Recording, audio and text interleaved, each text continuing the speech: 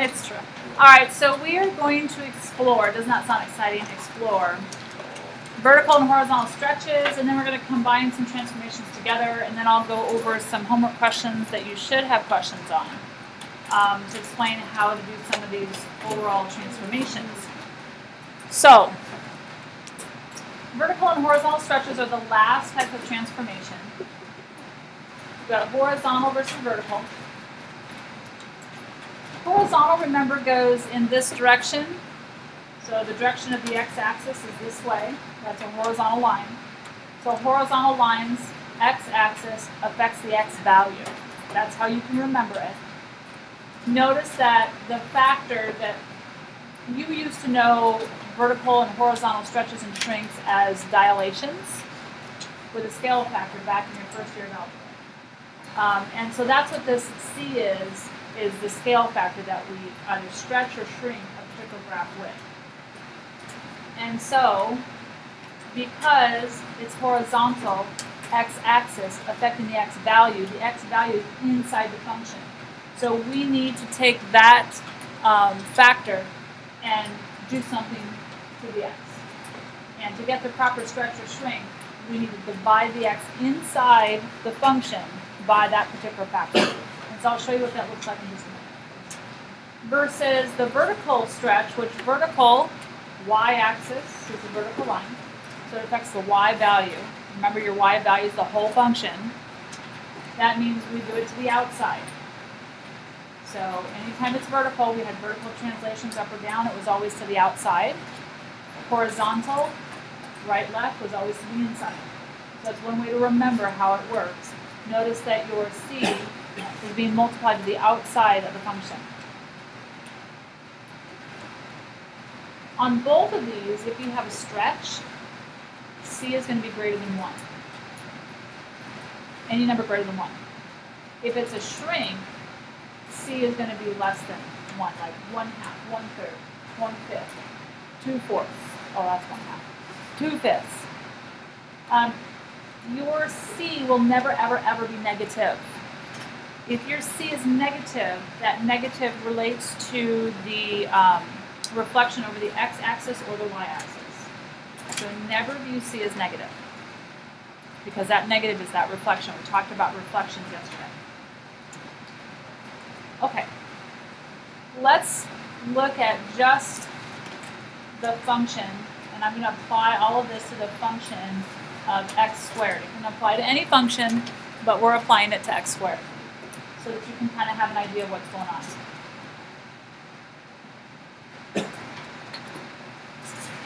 So I'm going to put into my calculator just the regular x squared functions for my problem.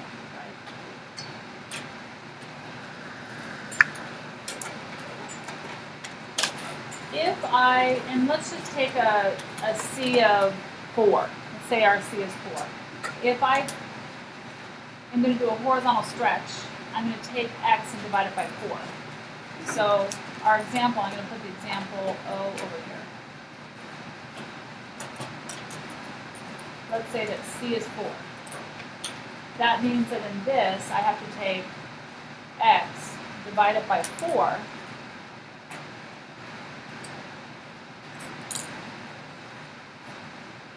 and square it. This is going to create a stretch. If you think about a vertical line, if I stretch, or I'm sorry, horizontal line, if I stretch it this way, so if I take this parabola, looks like this. If I stretch it this way, what's going to happen to the arms of that parabola?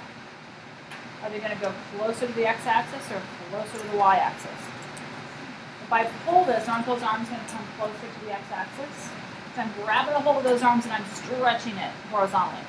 That's what a horizontal stretch is. So I'm taking this and stretching it horizontally. The graph is going to get longer this way. Okay? So my hypothesis is that it gets closer to the x-axis. And these are not things that you remember. You just know by understanding what a horizontal stretch is. So let's see if that's true. So let's put in here um, parentheses x divided by 4 squared. Is that what happened? Yeah. All right, well, what if my factor is less than 1? So instead of 4, let's use 1 fourth. C is equal to 1 fourth. That means x is being divided by 1 fourth. Squared. Would you normally divide x by 1 fourth? How would you actually write that? x divided by 1 fourth is the same as x. Instead of division, we multiply by the reciprocal. So the reciprocal of 1 fourth is 4. So doesn't this really mean, whoops, this puts my 4 in front. 4 x squared is not the same thing. I'm going to go ahead and put into my calculator uh, the x divided by 1 fourth just so that you see it's the same thing. I'll change it to 4x squared. Um, so let's think about this. What's going to happen? I'm going to take this and I'm going to squeeze it because I'm shrinking it. So instead of pulling it out, I'm going to squeeze it this way. What's going to happen to the arms of that parabola? They're going to go up because I'm squeezing it this way. They're going to go up and get closer to the y-axis. I'm stretching it, it pulls out, and I get closer to the x-axis. When I push it in, it's going to get closer to that y-axis. So, closer to y-axis.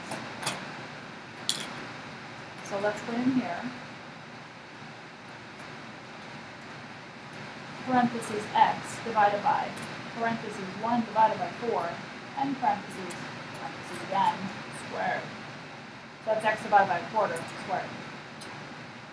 There's the original. And there's the shrink. So it didn't get closer to that y-axis. So it shrunk horizontally. It went in horizontally. All right, well, what happens with vertical stretches and shrinks?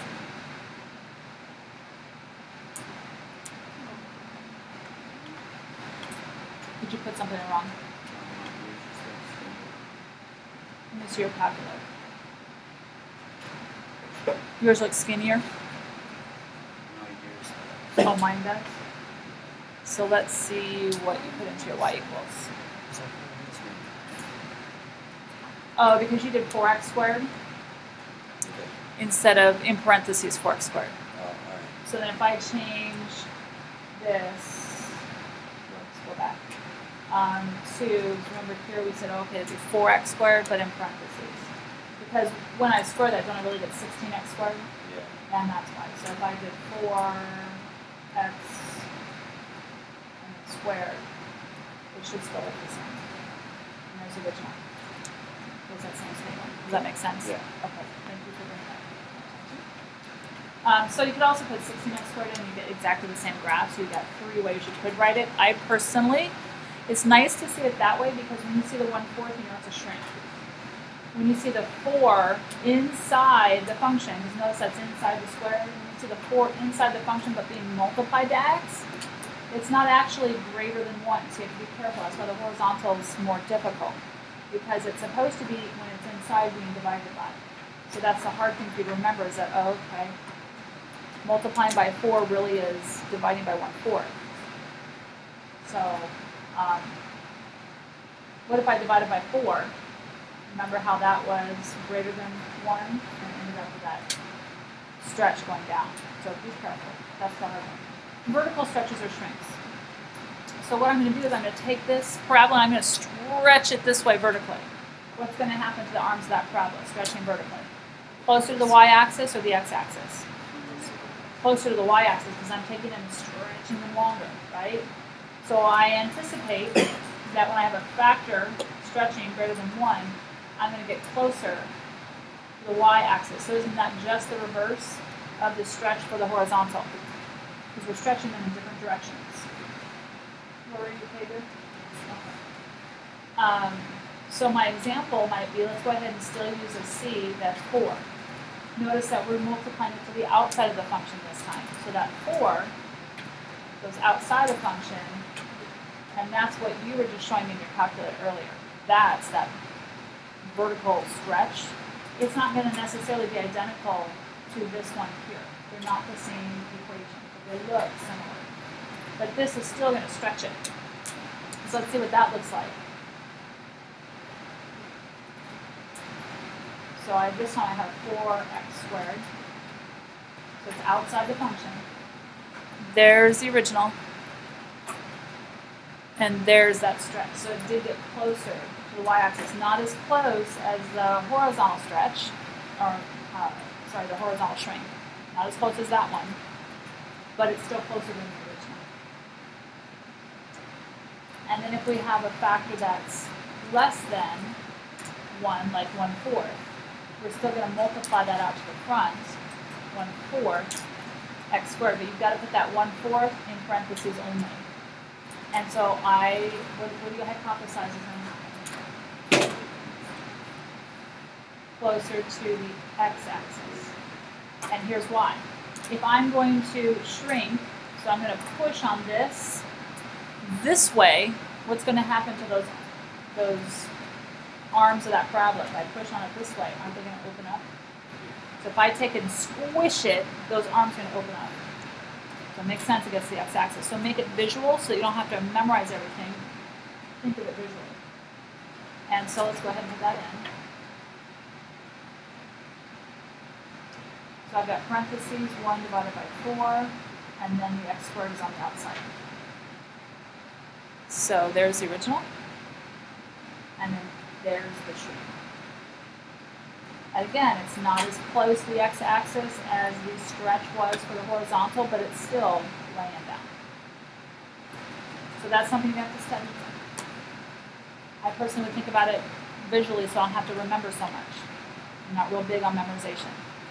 Questions on that before we do the equations? Does that make sense to you? You're going to forget it by the time you go home and do your homework, trust me. All right, so example five.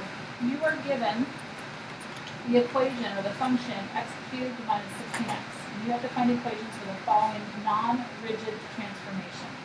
Remember, non-rigid means that the shape is changed. The only thing we've done here that's changed shapes are the stretches and shrinks. So, we are going to find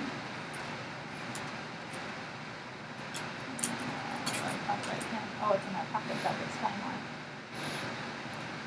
Here it is. All right, so if I want a vertical stretch by a factor of 3, vertical stretch, I'm pulling it this way so it's affecting the y. It's into y is on the outside of the inside. Outside, that's how I remember things. So my vertical stretch means I'm going to take my factor of 3 and I'm going to multiply it to the function. multiply to the outside of the function, which is a vertical stretch of 3. So my function is this. So I've got 3 parentheses, or I'm going to use brackets, I guess, x cubed minus 16x.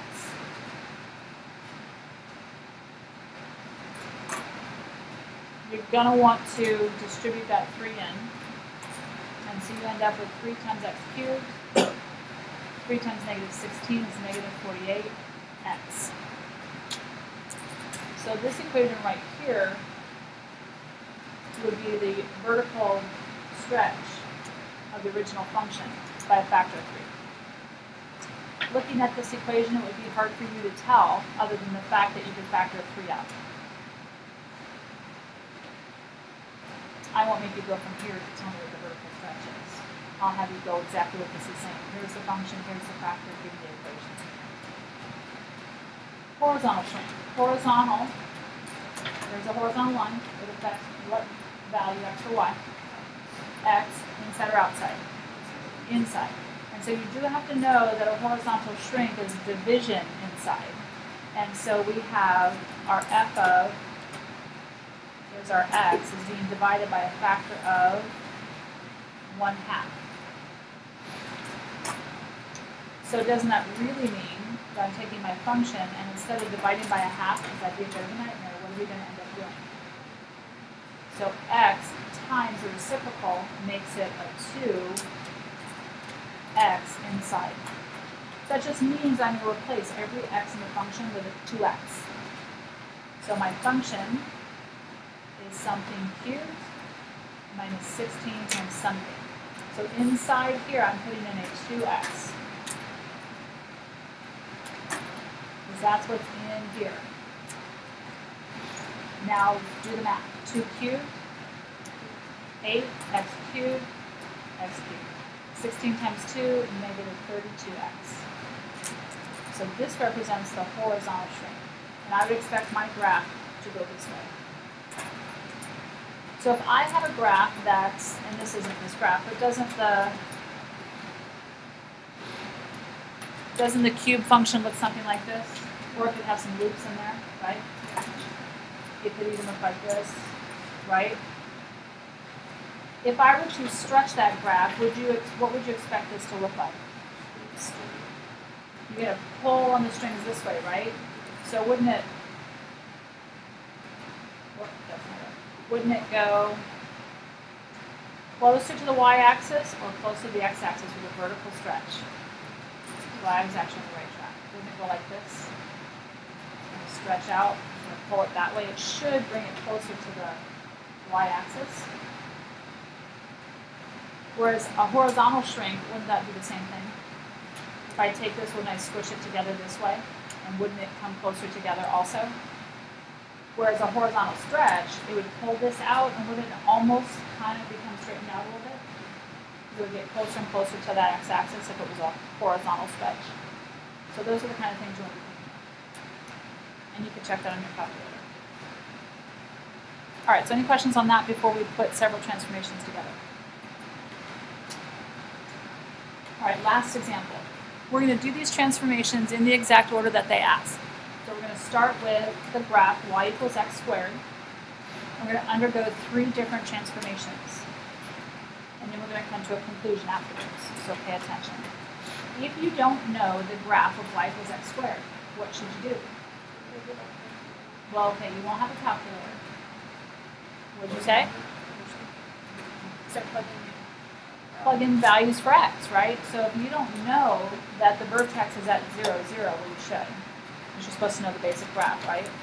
We started plugging in values for x. x if x is 1, square it, y is 1. If x is 2, square it, y is 4. If x is negative 1, square it, you get 1. And negative 2, square it, you get 4. Now don't connect those dots because we are going to take f of x equals x squared, and we are going to create an equation. So the first transformation is a horizontal shift two units to the right. Horizontal, I think a horizontal line, does that affect x or y? Horizontal line looks like the x-axis, so it affects x. If you're taking notes, you can't fall asleep. So it affects the x-axis. Is that inside or outside? Inside. Inside. So inside the function, this is the function. So we're going to take f of x equals, here's our square, there's our x inside the function. We are moving it two units to the right. Is inside same sign or opposite sign? No, not same sign. Inside's opposite sign. Remember that um, equation of the circle where the signs change when we put the center in? It's a way to remember it. Um, so right is normally um, a positive, so we're going to put a minus 2 in there. And you can check it on your calculator, but you won't have a calculator in this portion. It'll be hard to check. So um, graphically, I can just move each of those points two units to the right. So I'm going to move the vertex to the right, each of these points to the right. And I am going to fill that in. So that graph right there represents x minus 2 squared. Then our next, so that's our first one, our next one is a stretch factor of 3, a vertical stretch. So they told you they want a vertical stretch by a factor of 3. Did they have to tell you it was stretch? No. Because you should know it's a stretch because the factor is 3. If the factor were one third, then you'd know it's a shrink. So vertical stretch means we're pulling it this way vertically. So are we expecting it to get closer to the y-axis or the x-axis? The y-axis. So we should expect to see it closing in when we graph it. Um, if it's vertical, is it affecting the x or the y? y is vertical, right? So is that inside or outside? Outside. Outside this. Let's talk about this.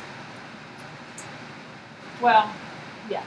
We're going to put, yeah, this one will work this way. So f of x is equal to, we want to go outside the function. Since something's already happening to x, in other words, we have the minus 2 in there, you definitely want those parentheses.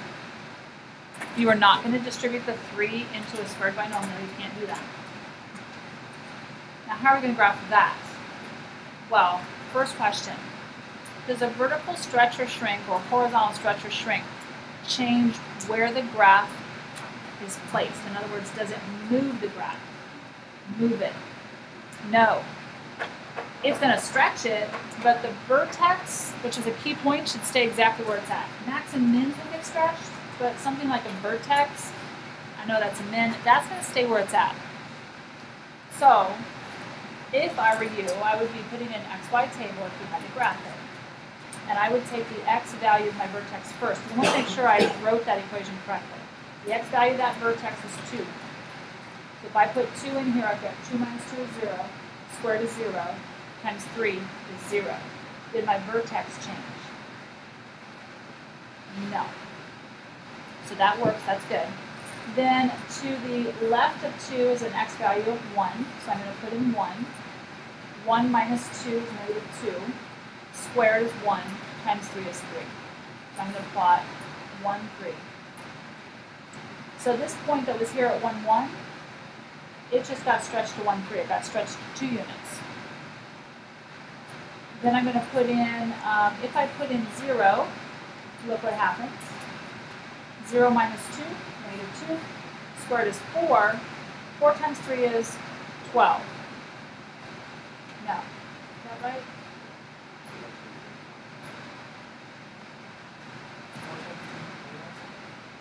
No. So I put in 0. 0 minus 2 is negative 2. Squared. 4. Yeah, 12, right? I'm not crazy.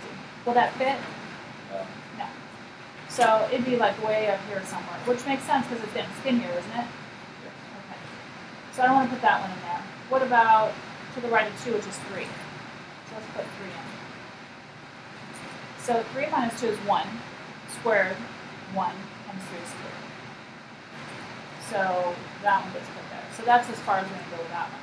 So it did get skinnier, didn't it? Slightly. Then, so that's that one. Then our vertical translation, 5 units up. I can just graphically move each of those three points 5 units up. So That's what we're going to do. So we're going to take this vertex here at 2, 0 and move it up 5. I'm going to take this point at 1, 3 and move it up 5. You have to go slightly off. That's okay. And at uh, 3, 1 or 3,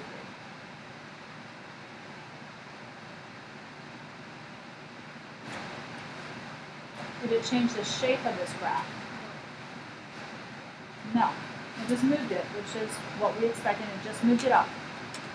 So let's take this right here, this function, f of x equals, here's our vertical stretch of 3 times x minus our, our horizontal movement to the right of 2 squared.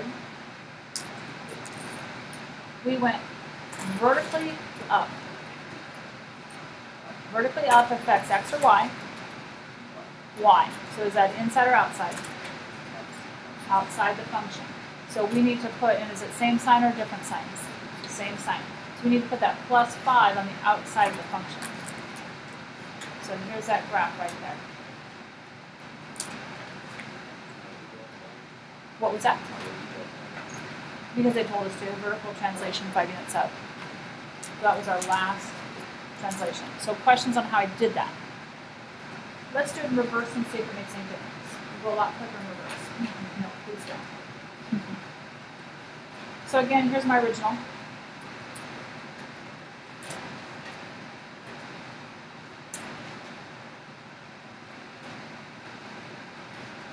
This time we're going to go from the bottom up. So vertical translation, five units up. So we're just going to take every one of those points and we're going to move it up five.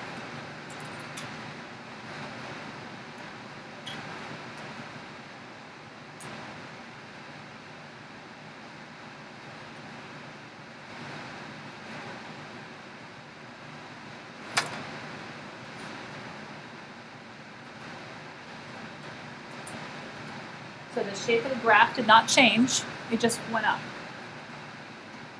Does that affect the vertical up? Does that affect x or y? Vertical. Y. Inside or outside? Outside is y.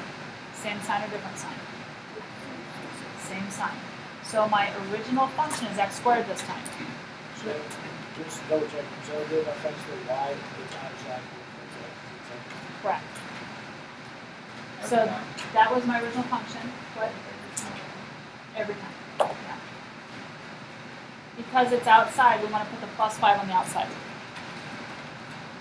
function's x squared. The next one we have to kind of think about, because the next one is the vertical stretch. So do we write the vertical stretch? Because it's a vertical, it's outside, isn't it? It's affecting y.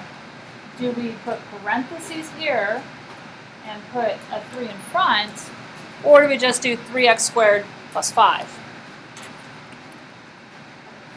That's your one morning? What is that in your hand? What, Colin? What is that? Is that all you're doing? It totally looks like you're looking down at your cell phone. He's like this.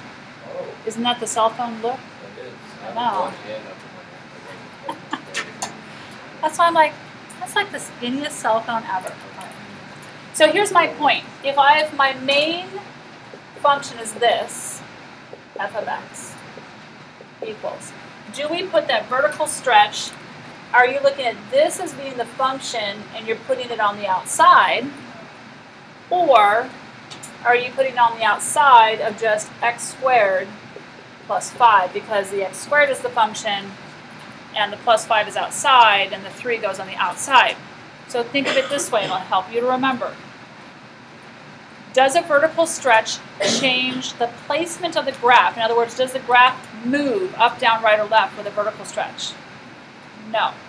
It just changes the shape. Is this going to move the graph? If you were to simplify this and distribute that 3 in there, wouldn't you get 3 times x squared? This would give you a 3x squared. 3 times 5 is plus 15. Won't that theoretically move the graph up to 15 from the original? We don't want to move it. So, we don't want that one. We want the bottom one. So here goes.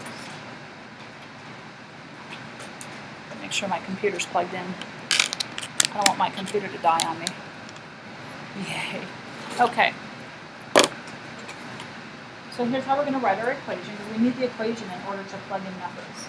f of x is equal to, our stretch is 3, x squared, and then our plus 5 is on the outside. So let's see if we plug in numbers, if it keeps it in the same place but just stretches it. So I expect it to get skinnier because it's a vertical stretch this way. So x, y, how do I choose my points? For. Yeah, look at the last one. And I want to start with my vertex because I don't want my vertex to move. The other points are going to move, but the vertex needs to stay the same. The x value of that vertex is 0. Plug in 0 here. 0 squared is 0 times 3, 0, plus 5, 5. Did it move? Nope, so that's exactly what I wanted.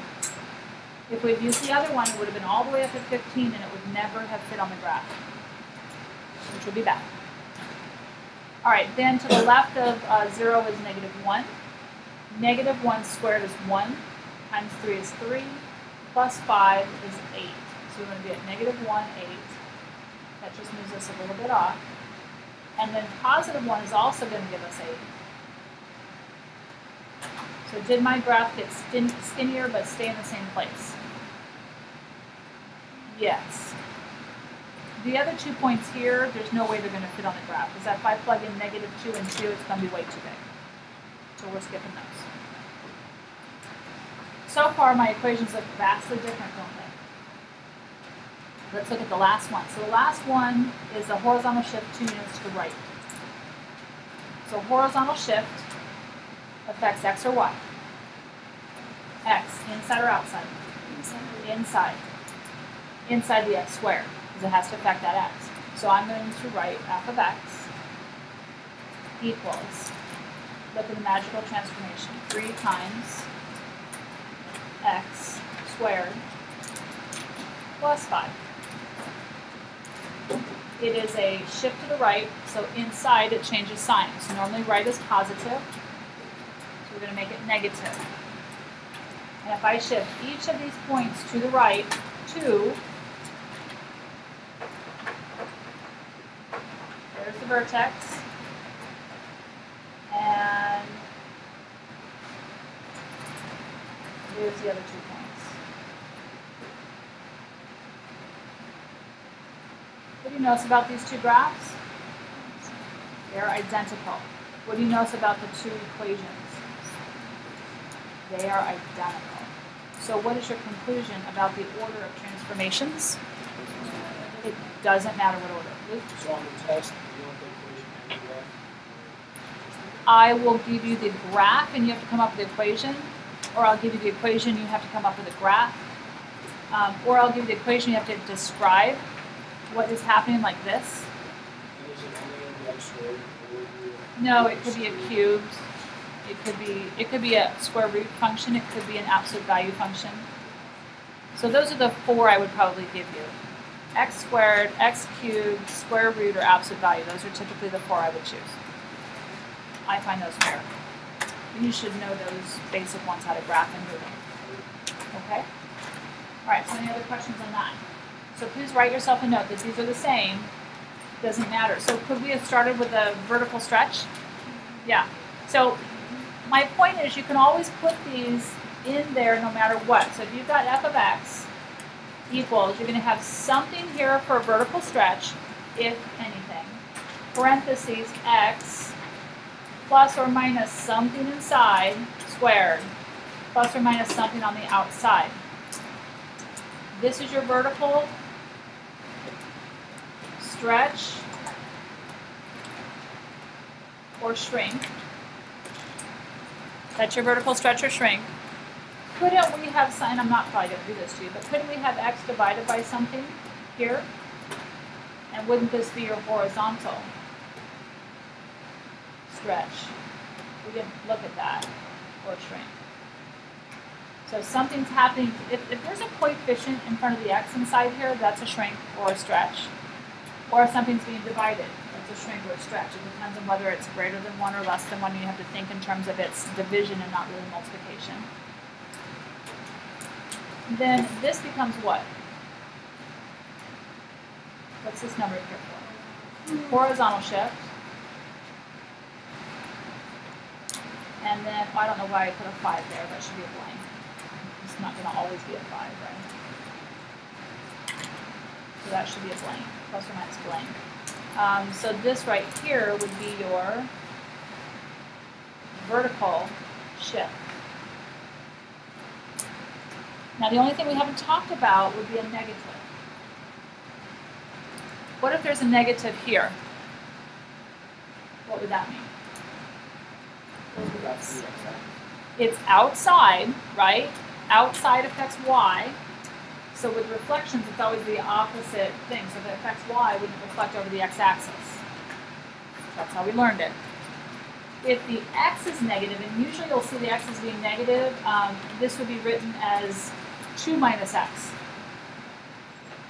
Or negative 2 minus x in this case, because if we still want that same shift, it would be negative 2 minus x. So my point is if the x is negative, x is negative, it's inside, inside affects the x, so we want to uh, reflect over the other axis, so we reflect over the y-axis. So those are the only two that could be in there. I don't want to put them in there because it'll jump it all up, but don't forget that study. Right, any other questions? Jason?